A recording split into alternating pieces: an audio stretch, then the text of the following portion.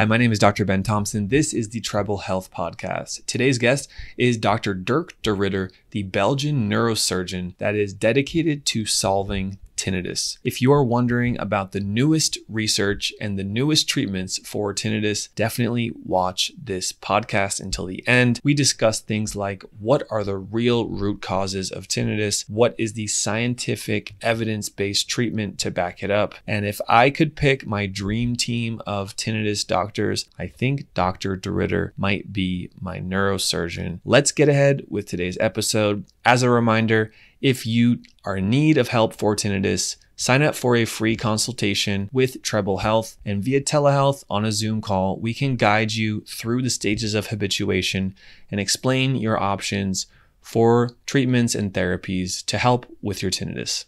Let's get ahead with today's episode. Here we go. Dr. de Ridder, welcome. Please explain to us a bit about your history studying tinnitus and the brain. Well, that's an interesting history. For um, first of all, I don't have tinnitus myself, so I'm probably one of the few tinnitus researchers worldwide who um, doesn't have it. And the reason why is that I'm a neurosurgeon, and when I was still working in uh, Antwerp in Belgium, I wanted to do a PhD, and the PhD was about my preferred neurosurgical technique, which was a microvascular decompression surgery. Basically, what it means is that when a blood vessel taps on the auditory nerve, it can cause a short circuit, which then gives a typical kind of tinnitus, which we now call typewriter tinnitus. But when I started, that was unknown. And because I wanted to make a change in the neurosurgical approaches of microvascular decompression surgery, I looked for which pathology the results were worst. So you can do microvascular decompressions for trigeminal neuralgia, so facial pain, for pain in the throat, for vertigo, for a lots of hemifacial spasm, meaning twitching in the eye and mouth. But the results for tinnitus were a lot worse than for the other pathologies. And so then I said, well, I will embark on a, a mission to try and understand how to treat tinnitus by doing these microvascular decompressions. But I quickly realized that it's a rare cause of tinnitus and that therefore I should find another solution for the many patients that I would see with tinnitus. And considering that I was a neurosurgeon, I automatically looked at the brain and at that time, there was a couple of papers published that suggested that hyperactivity in the auditory cortex could be related to tinnitus. Um, then I said, well, then for all the other patients that I can't treat by microvascular decompression, I will just implant an electrode on the auditory cortex and the problem should be solved, at least from a theoretical point of view. But because implanting an electrode is not something that you can do uh, right away, I um, started reading whether we could change the activity in the auditory cortex in a non surgical or non-invasive way. And i found out that you could use transcranial magnetic stimulation. But unfortunately there was not not such a device in belgium. So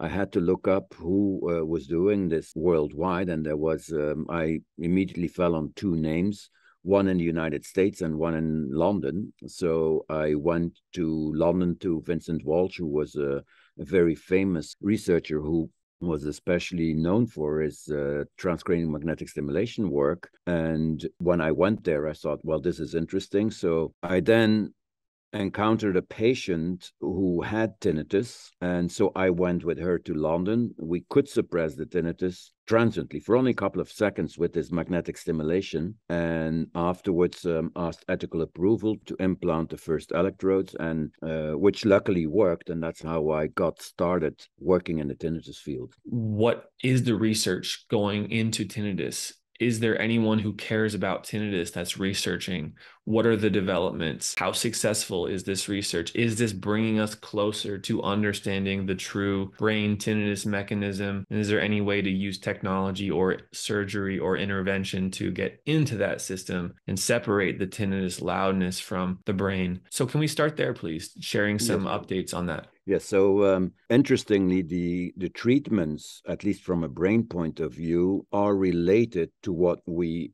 understand and what we know. I mean, already from the 20th century before Christ, the Egyptians linked uh, tinnitus or something that might have been tinnitus to uh, the ear. And therefore, all the treatments that were done before the year 2000 were trying to treat the ear.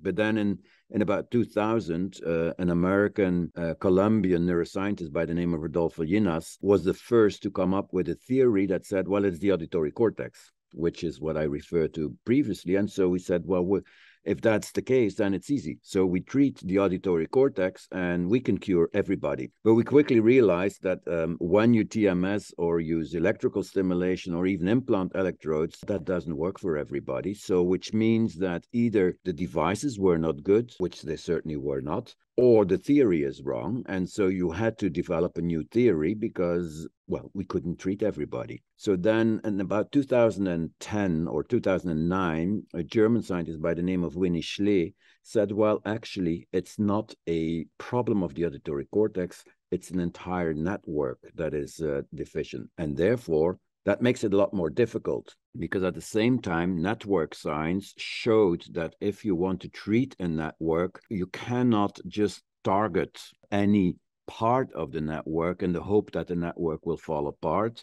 Um, and therefore the tinnitus should uh, disappear. But you have to attack the the main hubs. And luckily, in parallel with our research in, in tinnitus, there was also a lot of development in what is called network science. And this helped to realize that you have to stimulate multiple parts of the brain at the same time.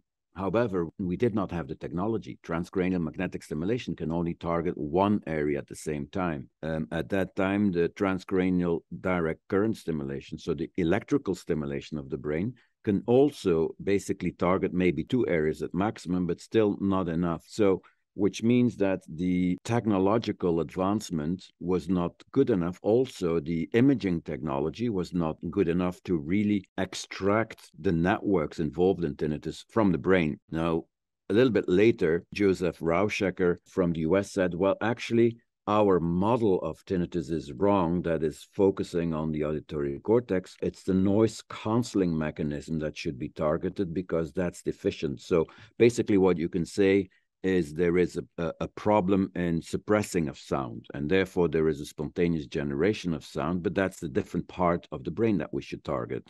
So then we said, okay, if that's the case, we should target that part of the brain, but that doesn't treat everybody else either. So then we said, well, if that is not the case, maybe it's a balance between the input and the suppression, and we have to rebalance the input and the suppression. But then you run again in the same problem that you have to activate the brake, which is deficient in the noise canceling system, or you have to suppress the overactivity in the auditory cortex, or a combination of the two. And so this balance problem might be relevant and can be targeted, but as far as I'm aware, Nobody has yet done that because of the technological lack of material that can do it. Now, luckily enough, there is a company in uh, Barcelona by the name of Neuroelectrics where already in 2014 they developed a device that instead of using the traditional two electrodes, so an anode and a cathode for electrical stimulation, they have a 32 channel device in which each channel can be independently controlled. And therefore, now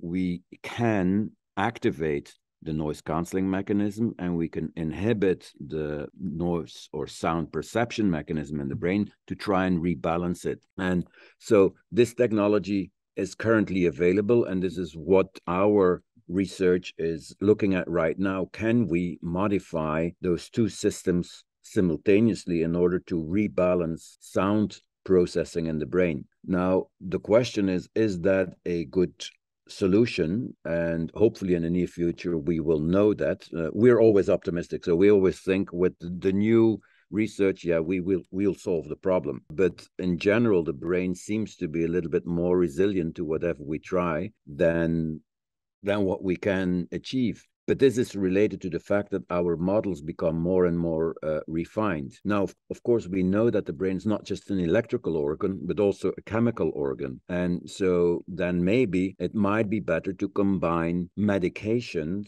with electricity or with magnetic stimulation.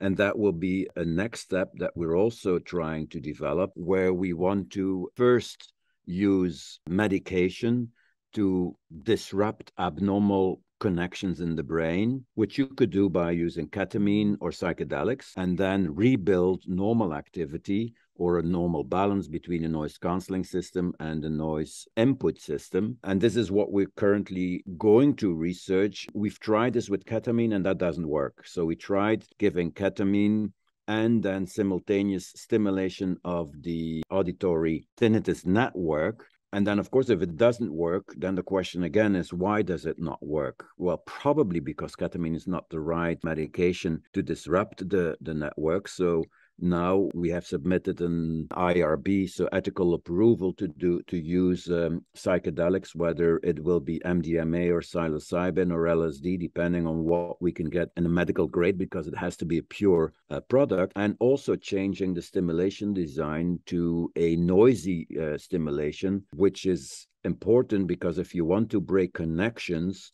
what you want to do is you want to disrupt those connections by injecting electrical noise in multiple areas so that they cannot synchronize anymore because of the noise that you inject and therefore the connections should, should disappear. So which means that every time that you try a new research approach it is based on the current understanding of the mechanism of tinnitus development in the brain and uh, what is available technologically, but also chemically. We were already trying for two years to get medical grade MDMA, but it is very difficult to obtain that at an acceptable cost and get it imported into New Zealand. So that's one of the major problems is that all these advances go way slower than what we would hope for. So you simultaneously have to do multiple uh, research uh, projects.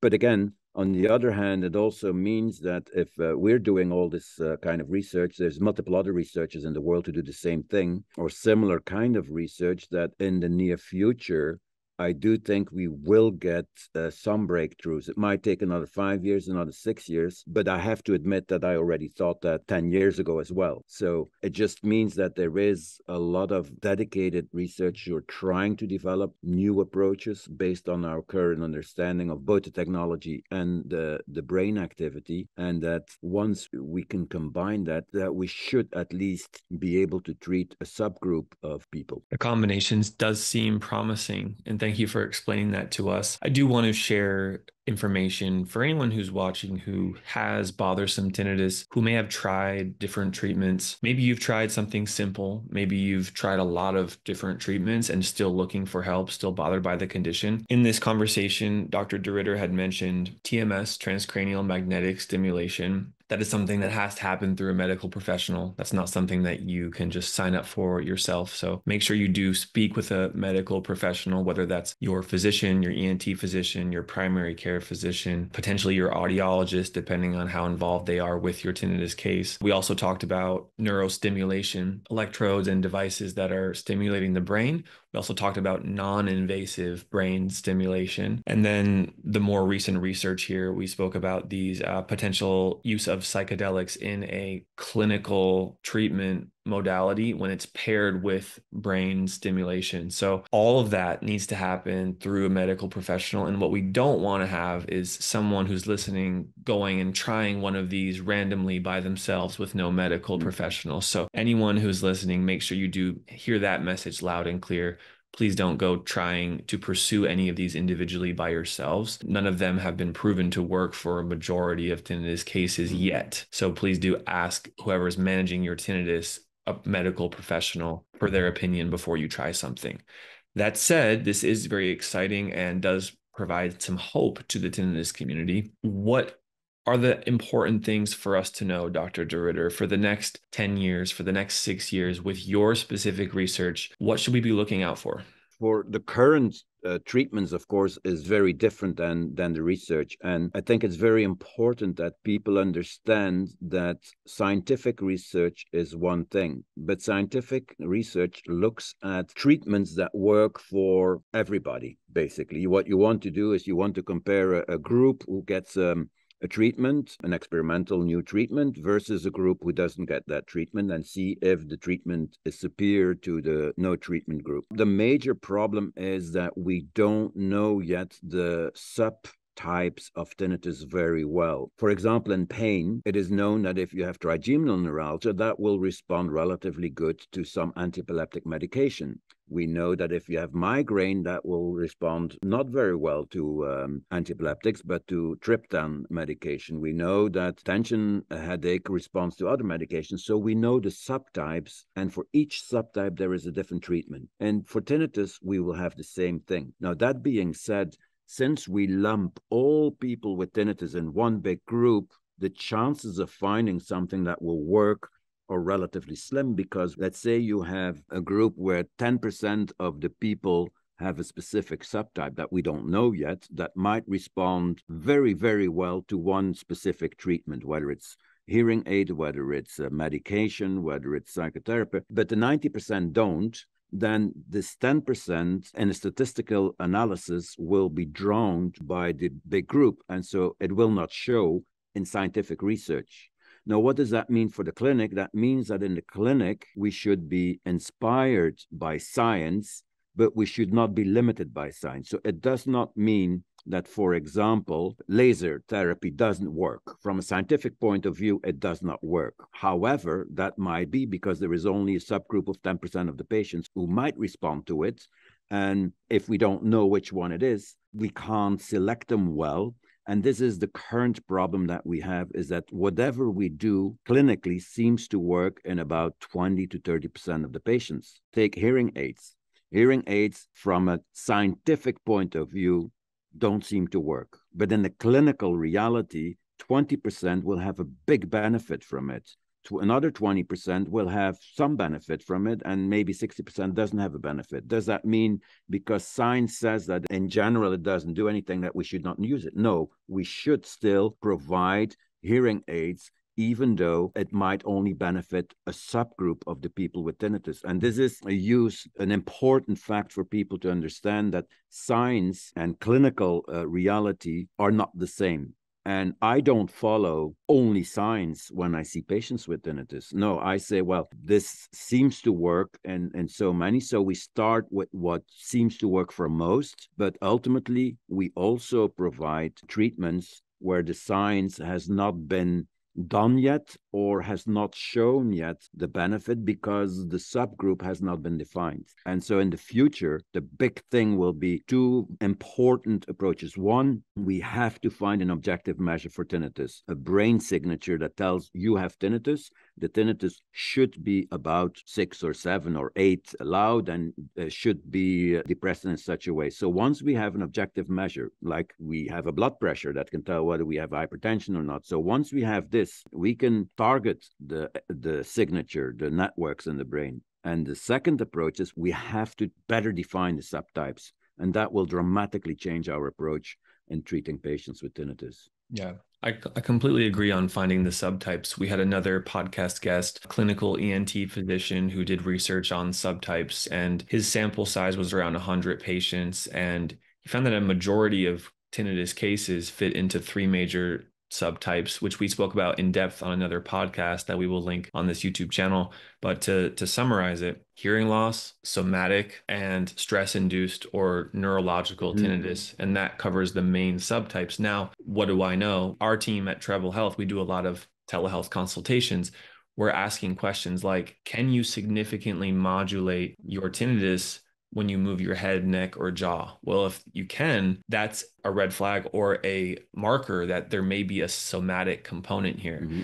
Now, hearing aids should not work to habituate somatic tinnitus. That just doesn't make sense based on our understanding of the theory. Similarly, cognitive behavioral therapy wouldn't do that much for a somatic physiological TMJ neck spine related tinnitus. So 100% agree with you. And defining the subtypes is step one. We could say step two is finding that objective test, which without the patient explaining their history can determine the subtypes. But even without the objective test, you and I both know that there are certain pieces of a tinnitus history which point an experienced clinician, physician, ENT doctor, audiologist of saying, hey, let's try this first because this is most likely the subtype you have. So for someone listening, you may be wondering, well, what subtype do I have? Where do I fall in this? That's a good time to reach out to a tinnitus expert, a physician, or an audiologist who can help work you through the specifics of your case. But Dr. De Ridder, I'm, I'm glad we're on the same page. as that uh, what are the subtypes that you commonly see in your clinic? So um, this the same uh, three subtypes that you describe, uh, we also then have a subtype of typewriter tinnitus, which should respond to Tegretol, or if they do respond, but it doesn't work anymore, to a, a microvascular decompression. We have, of course, what is called the so-called objective kinds of tinnitus, like the middle ear myoclonus, which should respond to uh, to different treatments as well. So we do have then the pulsatile tinnitus, which is a very different kind of tinnitus. So depending depending on these subtypes, like you, Ben, we do treat them in a in a different way. We also use medication, but that is specifically for people who say, well, my tinnitus is, uh, first of all, it's loud, it's very distressing, and importantly, it's dominantly present during, let's say, more than 60 or 70% of the time, then we try to defocus using medication the patient's attention from the tinnitus, irrespective of the subtype, because that's kind of a, a basic uh, background. But if they would have, let's say, somatic tinnitus, of course, we will send them to our physiotherapist. But also, if that works, but but insufficiently, we might add some specific medication that works on temporomandibular joint uh, contractions, like cyclobenzaprine, which has been shown in a study to be beneficial. If somebody says, Well, I have a benefit from alcohol if I drink alcohol, and that happens in one third of the patients, one third it, it worsens it, and one third it doesn't do anything, then we might add a drug that accompanies that that works on these problems. So we kind of create subtypes also based on the treatments that are available. So it's a very a very pragmatic approach, but we do something similar that depending on the subtype, so the ones with hearing loss, we will try hearing aids even though as I said from a purely meta analytic approach, there doesn't seem to be any support for it. That doesn't mean that it can't benefit. So, the clinical picture of the patient with tinnitus really determines an individualized approach. There is not one general approach that you can use for everybody. I remember being at a conference of audiologists and we were reviewing the most purely scientific evidence based approaches to tinnitus. And they seem to point mainly to cognitive behavioral therapy. And audiologists are saying, What do you mean? I have so many tinnitus patients and we use sound therapy treatment and we follow tinnitus retraining and we use hearing aids. And these patients do get better. So what is the difference here? And you explain that quite well, the difference between the the scientific arm of the community, the research as well as the clinical, practical, what is going to help someone reduce their symptoms. I wanted to bring something up. It's a question. So, someone may be listening to this and asking themselves, wow, there's a lot to tinnitus. My local doctor told me that there wasn't a surgery or a medication for me and that I would have to get used to it to manage it. But I'm wondering maybe they missed something or maybe there's more to this comprehensive view here. And I just want to validate that thought if someone's asking, what am I missing? There's a lot to tinnitus. It's a rather mysterious, tricky medical condition for most doctors. So be patient, don't give up. Try to leverage medical professionals that are experienced in this because for someone who's online trying to figure out tinnitus themselves, it will cause stress, anxiety, and potentially make your loudness of tinnitus worse. So just be be cautious there of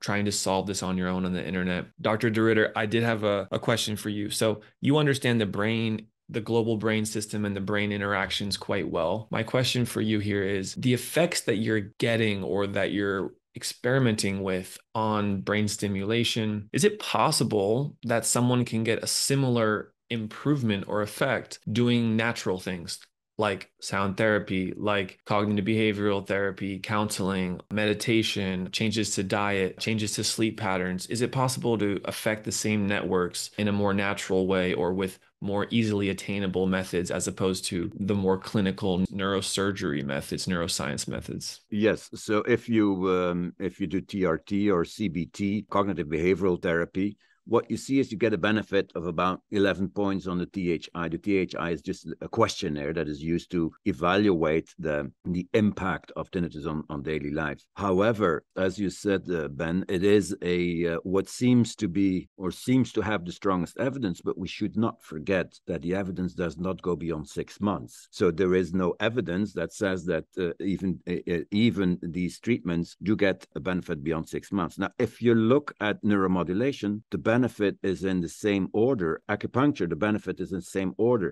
Now, what does that mean? These 10 or 11 points? Well, it means that we improve the tinnitus by 10% basically because the score goes on 100. Now you might say well 10% is not a lot and it is not a lot. And you have to realize that the the relationship between the loudness perception which is basically only treated, I mean, from a scientific point by cochlear implants. They do reduce the loudness dramatically by 4.5 to 5 points on a visual analog scale. In contrast, if you look at electrical stimulation of the brain, you can get a, benefit of maybe one point, but you can get a reduction by treatments such as cognitive behavioral therapy and any treatment that is more natural that can give a reduction in the focus of the brain on the presence of the sound. And if you can get that benefit from meditation, that is fine, even though there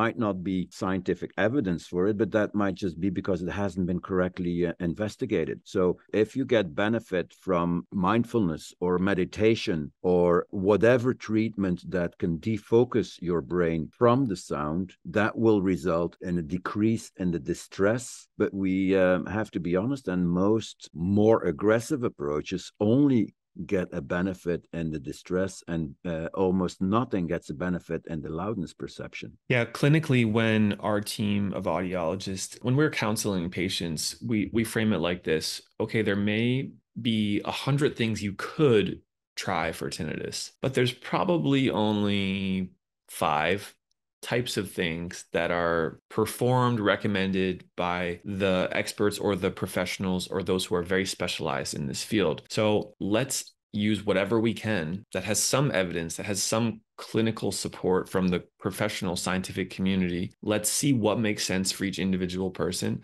And if we can get 5% improvement here, 10% improvement there, 15% improvement there, and 20% improvement from this other section, Suddenly, the patient's quality of life has changed dramatically. And despite them still having some tinnitus, it's at a lesser degree in perception awareness and occasionally the volume can get softer too through that process. Yeah. so so all this to say yes use multiple things that can help. Word of caution do not try obscure or alternative or experimental treatments before this foundational approach. Try the foundational approach first and then it's usually okay to try alternative treatments along the way. As we're wrapping up here i want to say anyone who's listening to this on youtube watching this on YouTube, please comment helpful if Dr. DeRidder's conversation here has been helpful, if you've learned something, or if you like what we're talking about here, please comment helpful. And Dr. DeRidder, I would like to give the last words here to you. If you'd like to touch on just final words you have, maybe the common counseling pieces that you touch on to individuals who come through your clinic, please take the floor. Yes. So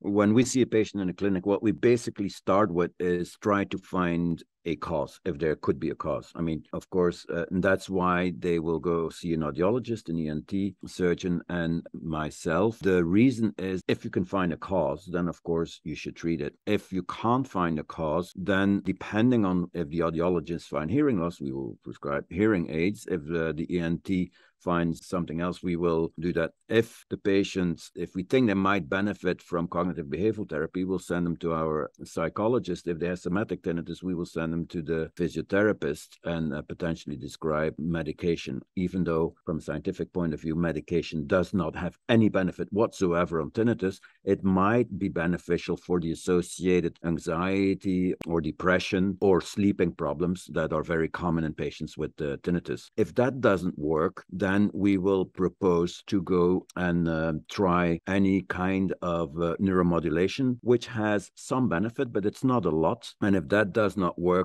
then we might enroll them in some form of more research focused approach. So I fully agree with what Ben said. And this has been shown scientifically as well. If you combine, for example, TRT with medication, that works better than medication alone or TRT alone. So the combination of treatments is ultimately based on the arguments that Ben said, but also scientifically supported that a combination of treatments might just be enough for somebody to make their life livable because most of the patients in whom you can reduce the loudness to, let's say, a level of four, and where you can reduce the impact it has on uh, their quality of life, once their quality of life improves and they pay less attention to the tinnitus, that will give the support. So I agree. Work in a systematic way based on the data that you get by the investigations that you do, and that will be the currently is the still the best solution for uh, most of the patients that we see. Dr. De Ridder, neurosurgeon out of Belgium, thank you so much for being here and sharing your expertise. Thank you for being here on the Treble Health podcast. And for those of you watching, we'll see you on the next episode. Make sure to subscribe